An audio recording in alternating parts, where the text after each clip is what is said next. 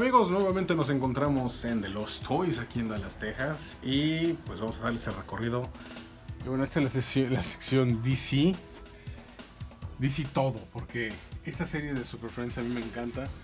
Que estamos viendo esas están muy muy padres. Y ahora esta máscara de Batman era un, playset pues que se hizo en finales de los 60, principios de los 70 y todavía se ve en muy buen estado. ¿Qué más tenemos? Líneas clásicas. Toy Biz cuando tomó la licencia después de que Kenner la tuvo. Entonces está el Joker, está eh, Robin, aquí hay un Batman. Este, este me encanta porque acércate a la cabeza, a la cara de Batman y está sonriendo. Es un Batman feliz.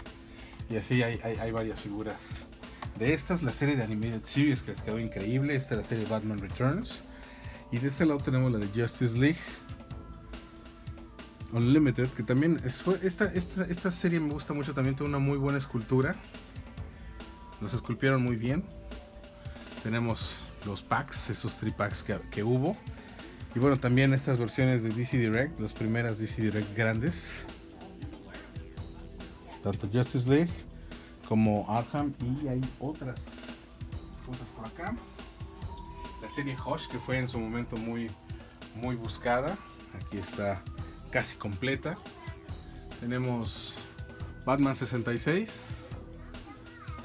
De las nuevas series de Multiverse, ahí está Deadshot, está Wonder Woman. Este, miren, el, el helicóptero de la serie Dark Knight Collection cuando la película de, Batman de Tim Burton. Tenemos no solo Black Knight aquí de, de Green Lantern, sino también Arkham City basados en el videojuego.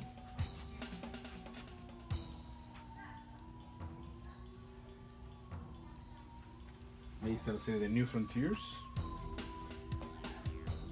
Y estas versiones que son reproducciones de los Mego, como lo fueron antes, aquí está Iron Man.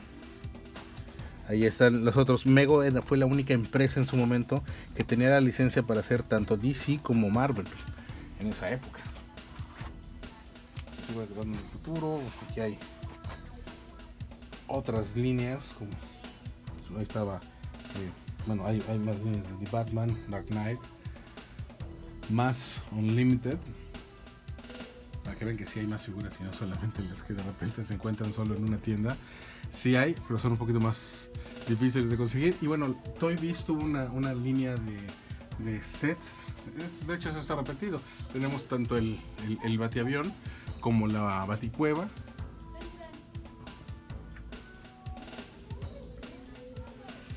más serie Multiverse de DC.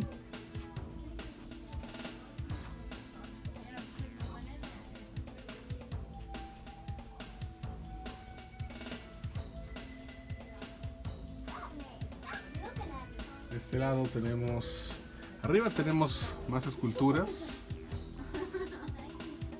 de, otras este, series. Aquí está Suicide Squad.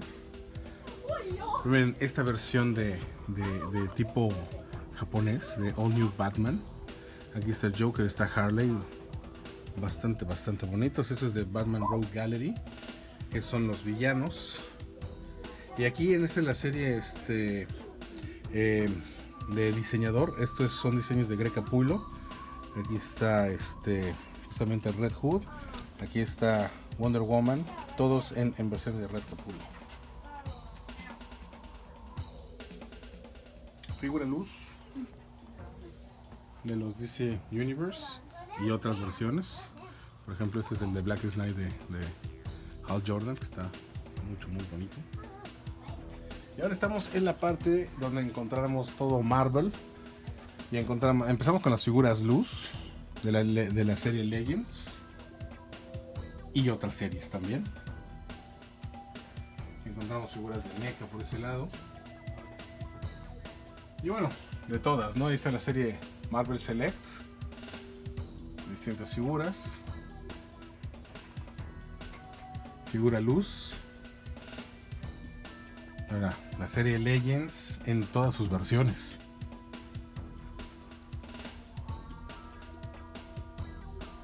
Y nuevamente tenemos los clásicos, como estos de Toy Biz. O, vean nada más este clásico, el hombre araña que habla.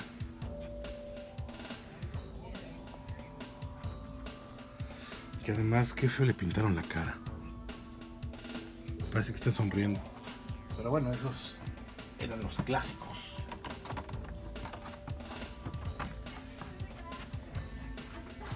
Marvel Legends. Las versiones más actuales. Y acá arriba hay algo que me encantaría mostrarles. Porque tenemos los playsets de Guerras Secretas. Ahí está el vehículo del Doctor Doom. Ahí está la torre de Doom. Y este es el Star Dart de Spider-Man. Que ese sí se lo inventaron porque eso no está en el cómic.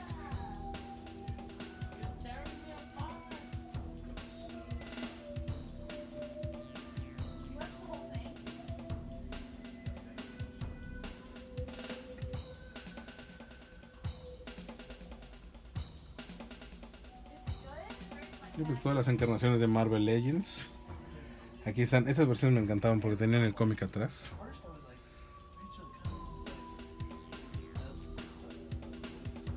Y como la serie ha tenido una, una, una longevidad interesante, importante.